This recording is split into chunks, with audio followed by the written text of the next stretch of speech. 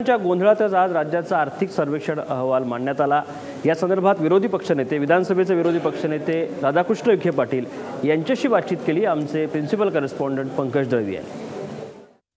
आपल्या विरोधी पक्षनेते राधाकृष्ण विखे पाटील पाटील साहेब शिष्टमंडळ सरकारचं गेलं आहे भेटायला केंद्रामध्ये. कोणाला भेटून येईल असं वाटतं? पंतप्रधान भेटतील का? आणि तुम्हाला विचारलं होतं का येणार का म्हणून? असं आहे की शिष्टमंडळाला प्रधानमंत्री भेटणारच नाही आहेत. ते आता केंद्रीय अर्थमंत्री आणि कृषी मंत्र्याला भेटायला गेलेले आहेत. हा एक माझा एक प्रकारचा फार्स करण्याचा प्रयत्न दिसतो आहे कर्जमाफी करण्याची क्षमता या सरकारमध्ये नाहीच आहे मूळ. त्यांची भूमी इच्छाशक्ती नाही आहे क्षमता म्हणण्यापेक्षा इच्छाशक्ती मला दिसत नाही.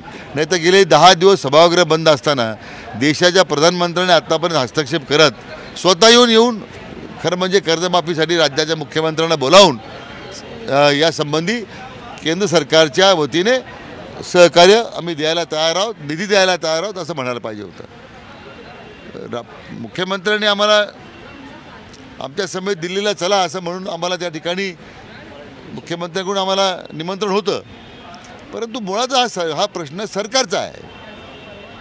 म्हणजे उद्या दिल्लीत जायचं दिल्लीत भाजपचं सरकार आहे राज्यात भाजपचं सरकार आहे हा निर्णय तुम्हाला करायचा आहे. त्यामुळे उद्या तुम्ही कर्जमाफी निर्णय करा विरोधी पक्ष म्हणून आम्ही सगळं सहकार्य सरकारला करायला तयार आहोत. आणि म्हणून आम्ही मुख्यमंत्र्यांच्या जी काही त्यांनी आम्हाला दिल्ली येण्याचं निमंत्रण दिलं होतं आम्ही ते स्पष्टपणे नाकारलं यासाठी की भूमिका सरकारनं केली पाहिजे ही आमची भूमिका आमची काय आम्ही त्याच्यावर ठाम आहोत. सरकारचा आर्थिक पाहणीचा अहवाल जो प्रसिद्ध झालेला आहे त्याच्यामध्ये सरकारची आर्थिक आणि बौद्धिक देवळाखरी दोन्ही आता स्पष्ट झालेल्या आहेत. त्रेपन्न टक्के खर्चित ख ख प- त्रेपन्न टक्के रक्कम अखर्चित राहणं मला वाटतं राज्यातल्या नियोजन्य शून्य कारभारचं हे अतिशय उत्तम उदाहरण आहे. आणि म्हणून आता एकतीस मार्च जवळ आलेला आहे. कधी सरकार पैसा खर्च करणार आहे? मुळातच सरकारकडे पैसाच नाही आहे. आचारसंहितेचं कारणं सांगितली जातात की निधी जो त्रेपन्न टक्के बावन्न टक्के पडून आहे तो आचारसंहितेमुळून करता आला नाही. नाही नाही तसं आहे की आपण जे मराठीत म्हणे नाचता येत नाही म्हणून अंगण वाकडं यार काय म्हणण्यात काय अर्थ नाही आहे.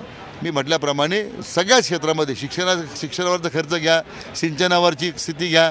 अन्य सगळ्या आघाड्यांवर सरकारचं अपयश इतकं स्पष्टपणे दिसतं आहे फक्त काहीतरी तकलादू कारणं ही जी न पडणारी कारणं आहे ती सांगायची आणि आपला स्वतःचा का कारभार झाकून न्यायचा. मला वाटतं मी म्हटल्याप्रमाणे नियोजनशून्य कारभार बौद्धिक दिवाळखोरीचा कारभार या सरकारचा महाराष्ट्र जनतेनं कधी पाहिला नाही आज या सरकारच्या निमित्तानं पाहिलेला आहे. कॅमेरामन विकास पंकज दळवी महाराष्ट्र मुंबई.